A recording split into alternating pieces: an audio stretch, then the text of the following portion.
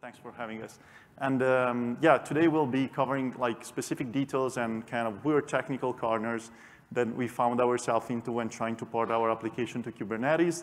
Uh, generic context, uh, we are, in this case, not a SaaS provider, so we are basically just providing our, our HPC, HPC solution uh, within, uh, with all its components as a deployable artifact to the customer, which is basically rolling it out uh, within their own environment. And um, yeah, so that we, we don't have generally like super low level access to the cluster to tweak with the feature gates and, and that level of optimization, but still, it's a very high requirement for us to kind of be as lightweight as possible, maintainable, observable as possible, so that we can minimize the most important metric of all, which is the number of calls that we get when they roll out in production. So um, I am Luca Montechiesi. I'm senior software engineer for Siemens EDA. Uh, I'm working with on the integration uh, of our product between, uh, yeah, which is, is called Calibre, uh, which Min will, will be talking about, and container and orchestration technologies. And I'm also interested in a bunch of other different things. Okay, thank you, Luca. Uh, my name is Min Tsao. Uh, I'm going to take it from here.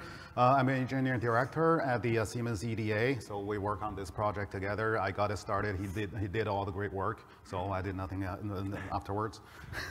so to get it started off, uh, so we are going to talk about three parts today. So first, I'm going to introduce what is EDA and what, are, what type of HPC workload that we're talking about. Not all HPC are built equal.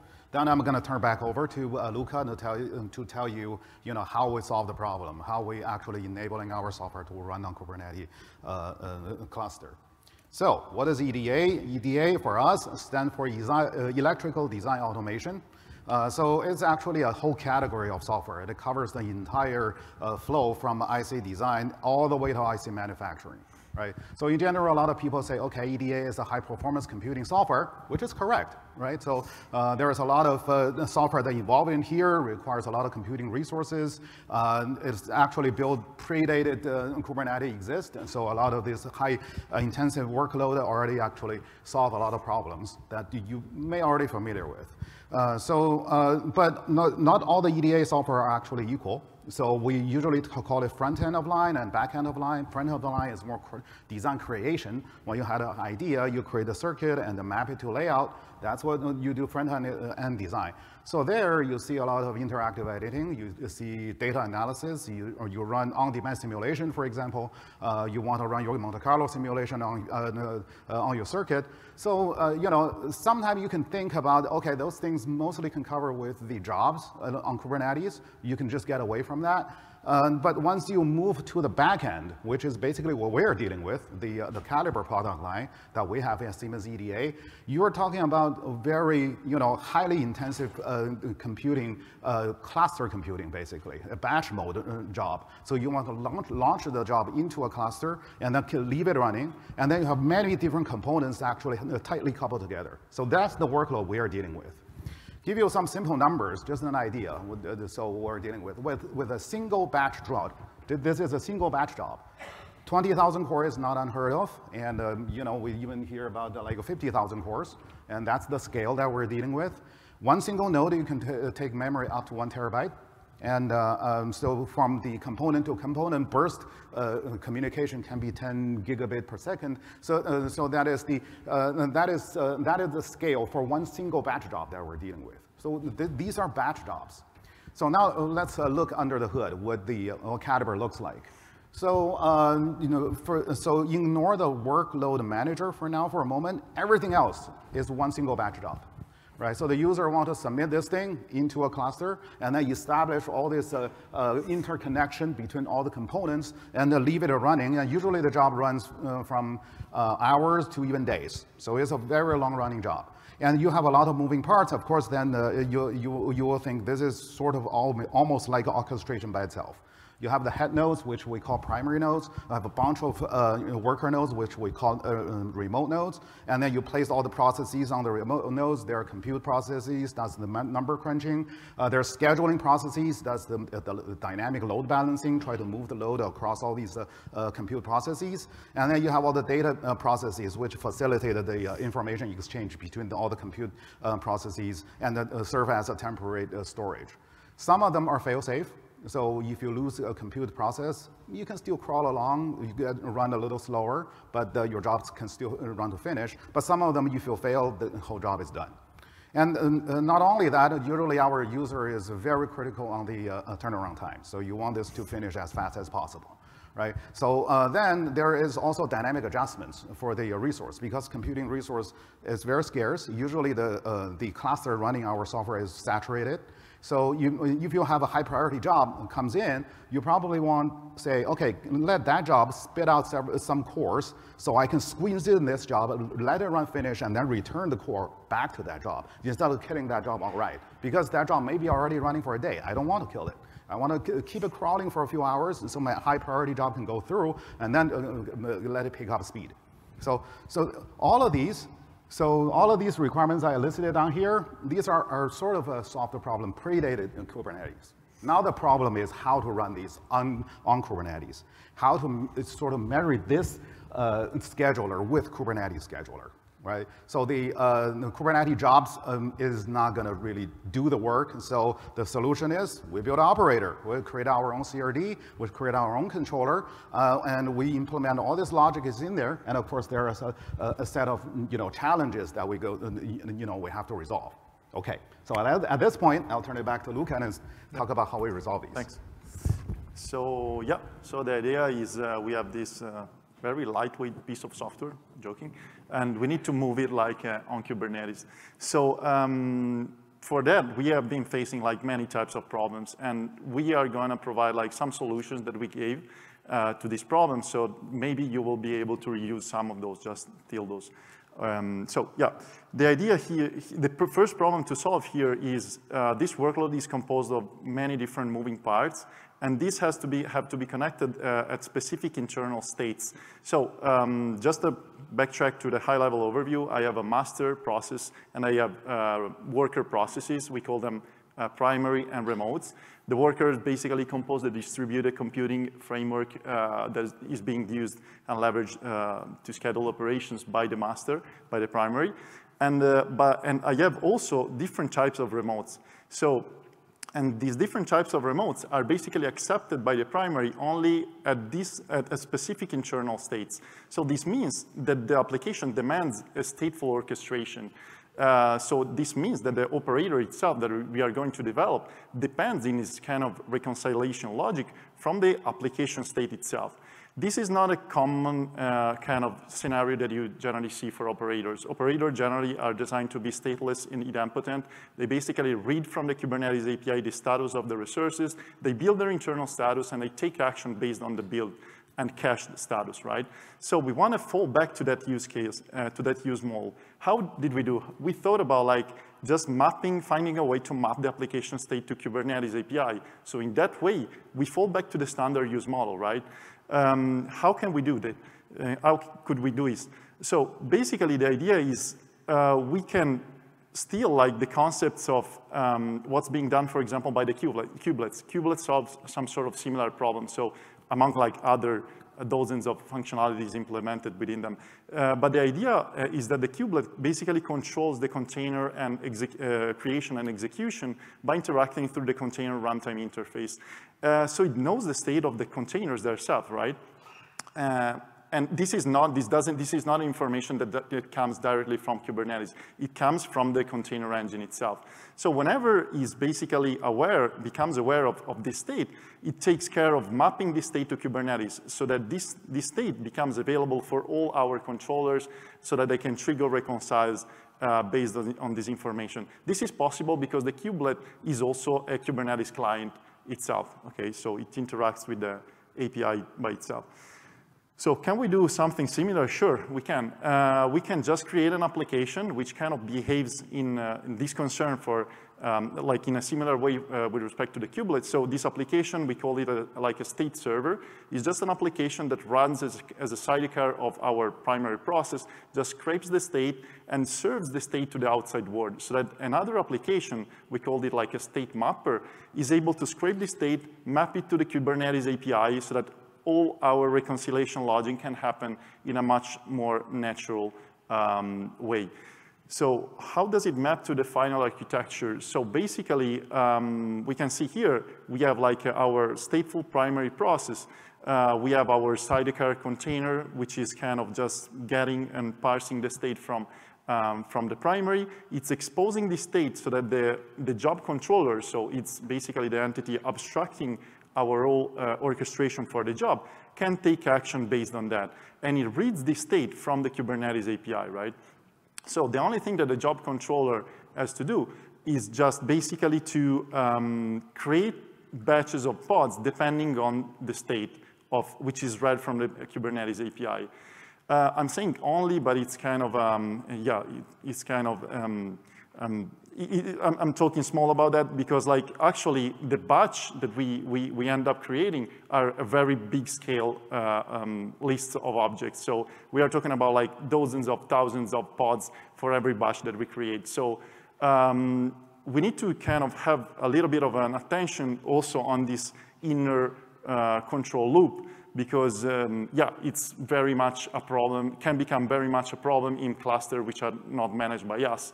So how can we make this part as light as possible? So, and as efficient as possible, still satisfying the functional requirements. So the first uh, recommendation I could do is, I could give is just if your use model kind of fits what you need to do, um, you can just use the batch API, uh, just the, the, the, native, uh, the native uh, job controller, which is already comes for free basically in, in the Kubernetes API.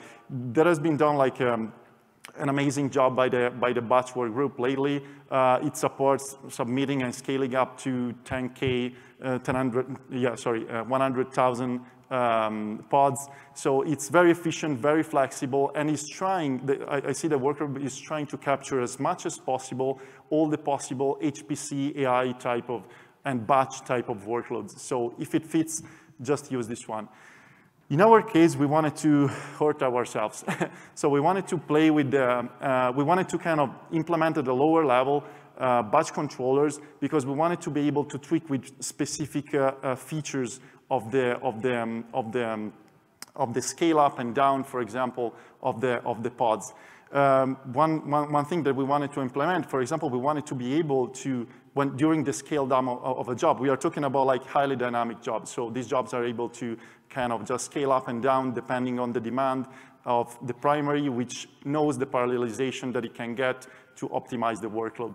So basically one thing that we wanted to do, for example, is just to be able to scale down um, the, and remove the pods uh, from the same nodes or for specific nodes. So have control on which nodes we were deleting the pods from so that we could basically empty out some nodes before and they were being able to be reclaimed by the autoscaler before. While if we just scale them randomly, like, uh, yeah, we cannot have control on that. So we have fragmentation of the pods across um, across the, um, the, different nodes.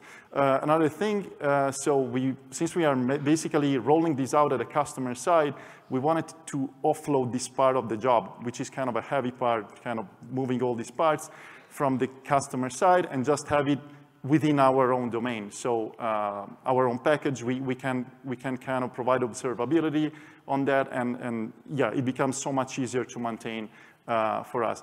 Um, also implements custom status information and other requirements which are dictated by the manager which is interacting with this component. So where did we start? How, what, what did we go? Um, so basically, um, we didn't, we didn't do anything fancy. Like we, we basically started from the standard kubebuilder scaffolding. Uh, we made use of controller runtime library, two words on that uh, for people that don't know uh, what it is yet. It's just a library, um, um, which is basically, I, will say like it's battery included, that it, it, contains a lot of very useful function for creating very efficiently and very flexibly your own controllers. Uh, you can see the full architecture at the left.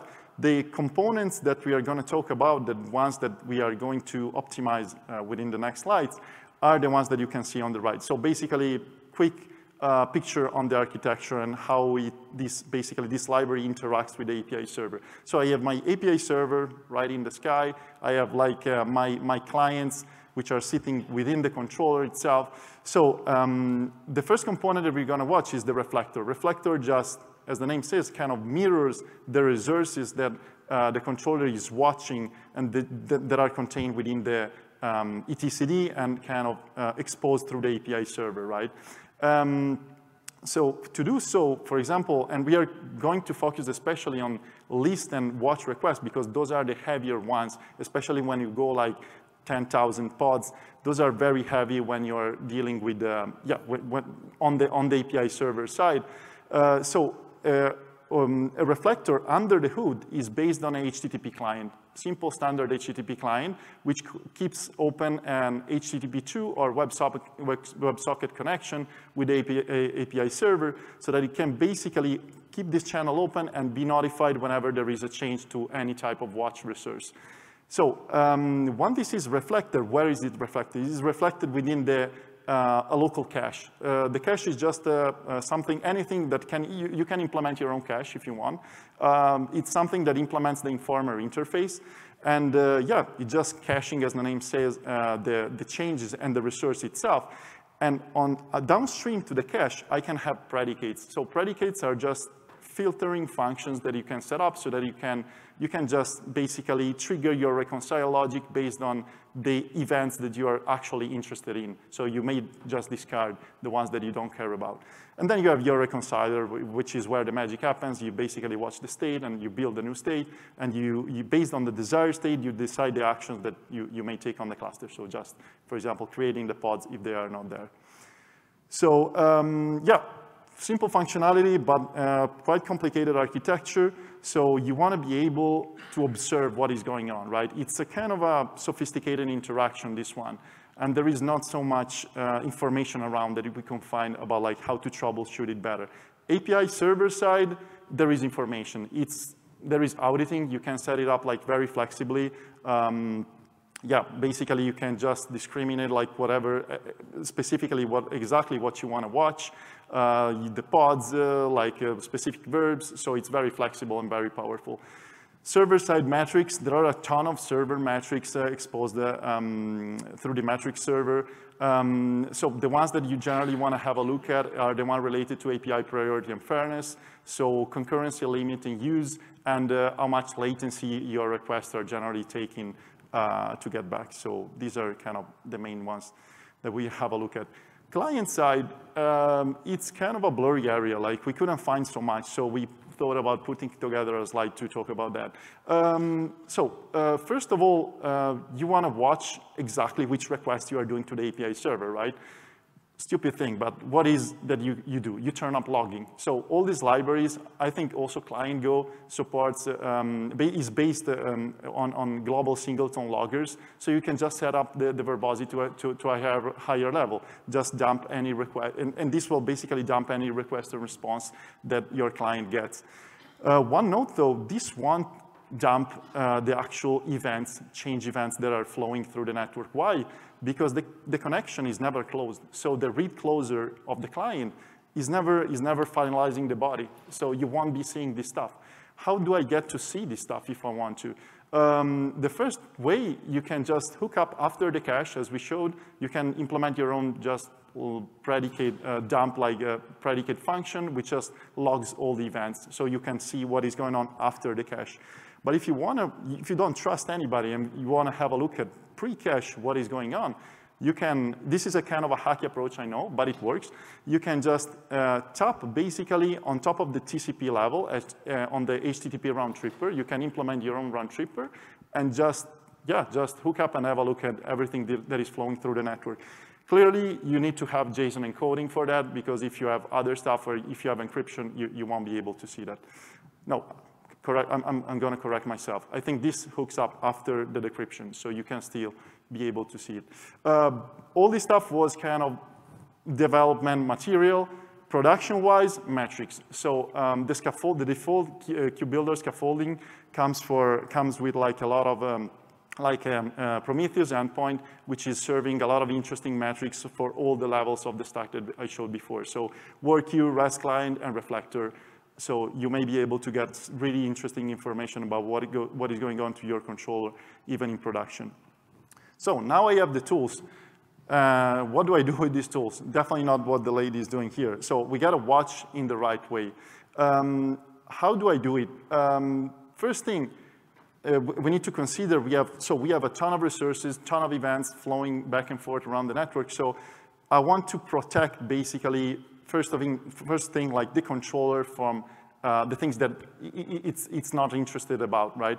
So first thing I can do, I can, for example, uh, set up like the controller itself uh, so that it's only watching the events, sorry, is only reconciling on the events uh, that are concerning uh, to himself, right? I, am kind of just watching uh, specific type of resources, and I'm kind of disregarding anything else. On top of that, I may even, even uh, just reconciling uh, on specific types of resources, I may not be interested in all the types of events. So I may set up predicates that just reconcile on, uh, for example, deletion events or creation events, depending on what my specific application demand is.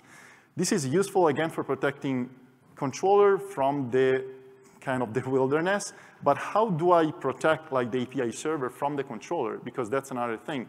Because the controller itself, when, it, when, when I'm watching and listing 10,000 resources for like a 1,000 jobs, it may very easily overload the API server.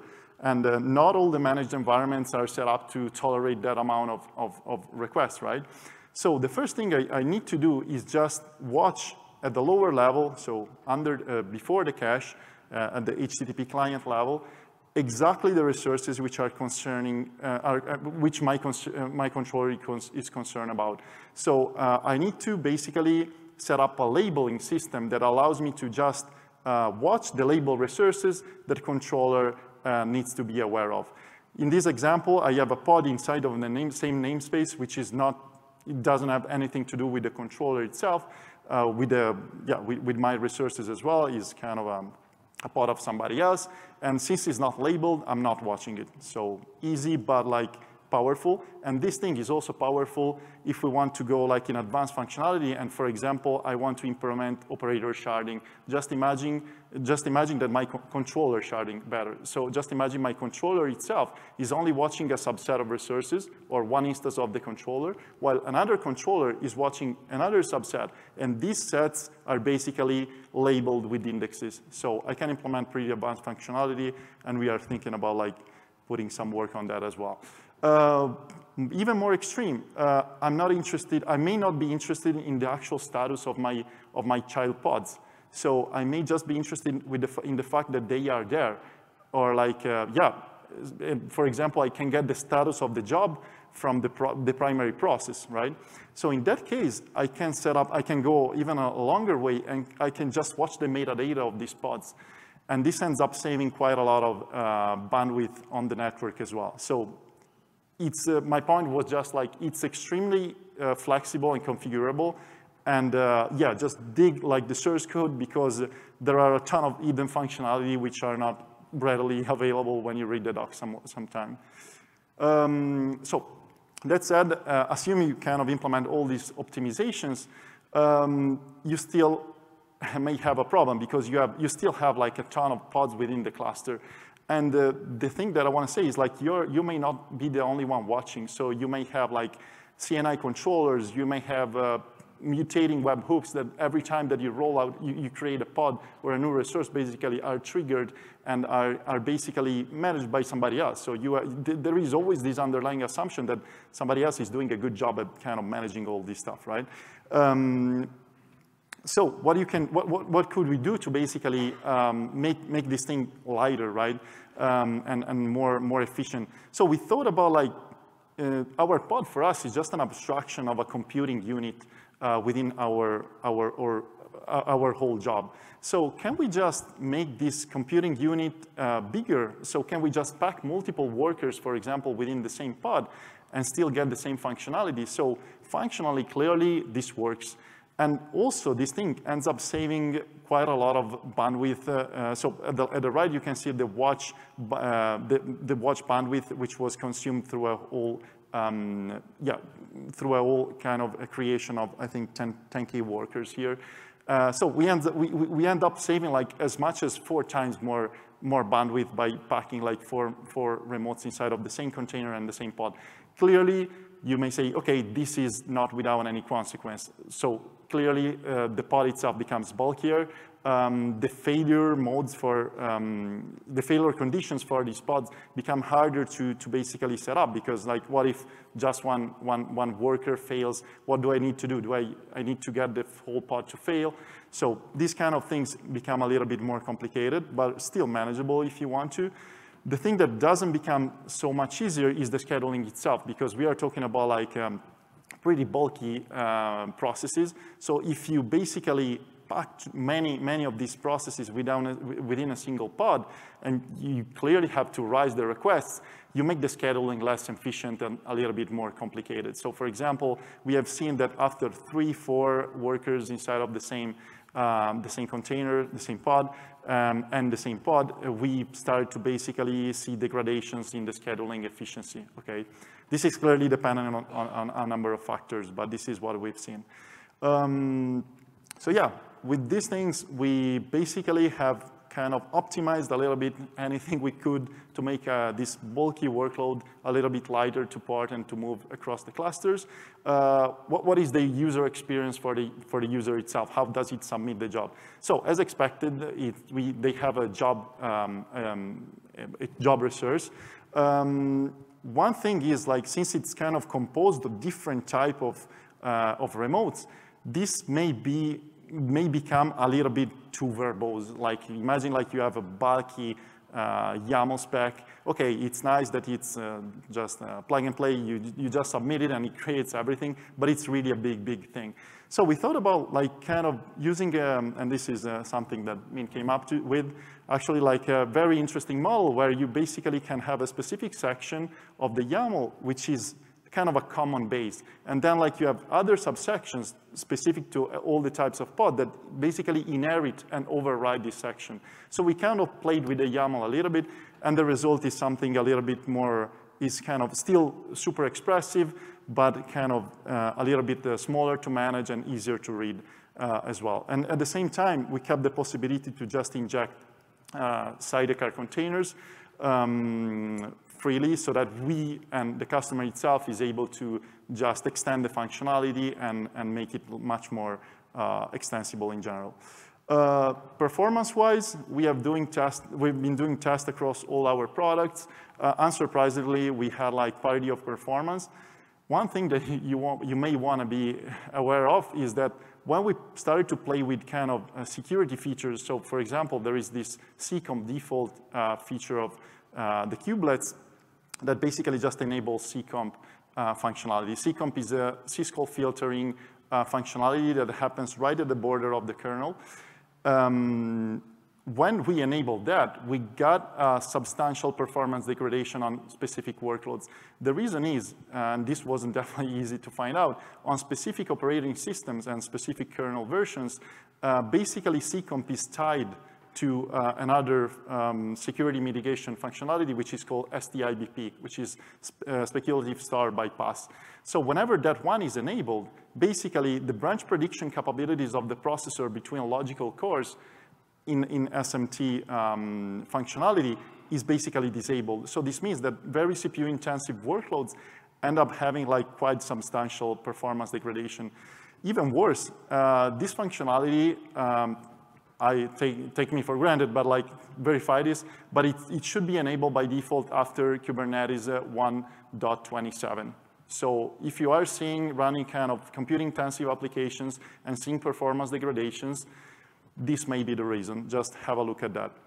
Um, so last thing uh, we want to cover, because we cover much of the lower level of our stack, this is a pretty much a work in progress, but the uh, direction that we are uh, we, are, we really want to follow. So um, how do we, basically, okay, I, I, managed to have my workload to run on Kubernetes in a lighter way and, and, and so on and so forth, but how do I enable multi-tenancy with respect to the resources which sits under my workload. So we are basically working to integrate with a project called Kueue, and Kueue has two very nice features. The first one is that um, it doesn't touch anything concerning the scheduling. So it's just something that you can install on top, and you can basically manage your quotas and your resources on top of what is already existing. The other one is that it is exposing a, very generic uh, workload uh, custom resource that you can basically use as an interface so that you can announce your workload type to, to Kueue.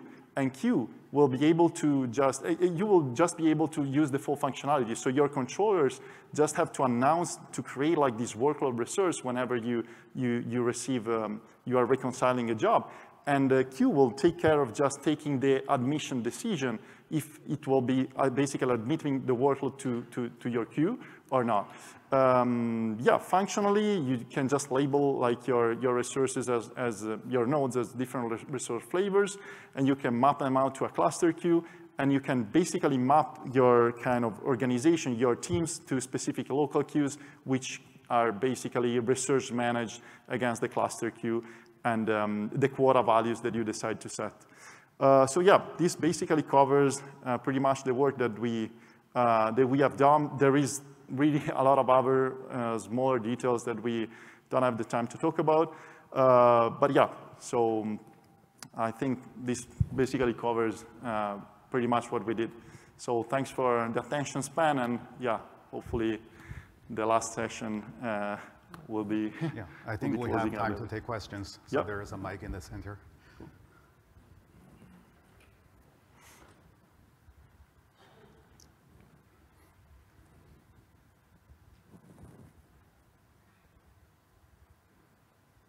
Uh, does this integrate uh, with traditional scheduling systems like Slurm or PBS in any way? So um, basically, um, let's say Kueue is exactly is, is not exactly a replacement. It's something you can use with uh, um, the, um, the, the um, with some existing schedulers. Okay, uh, but like there is some definitely some overlap in the functionality uh, we actually came to know like about like other uh, projects that make use of Slurm and port it to Kubernetes as well. Uh, but those ones are basically something that kind of were, was, was born outside and brought inside of Kubernetes. While Kueue, the nice thing is kind of is conceived from the start, very close, uh, from a, a work group which is very close to the Kubernetes API itself.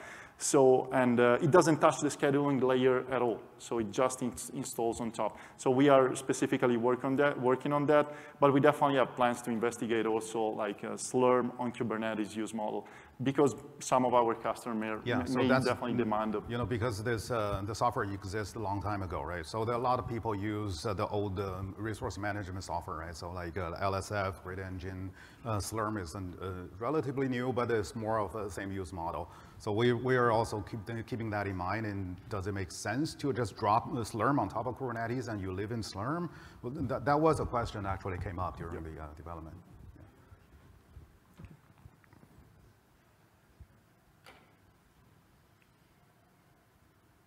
Other questions? Cool. Uh, right. So if there are no other questions, you, you can find us around yeah, for so we'll be around. the big party after anyways. Yeah. So just feel free to reach out. Yeah. Thanks. Yeah. Thank you.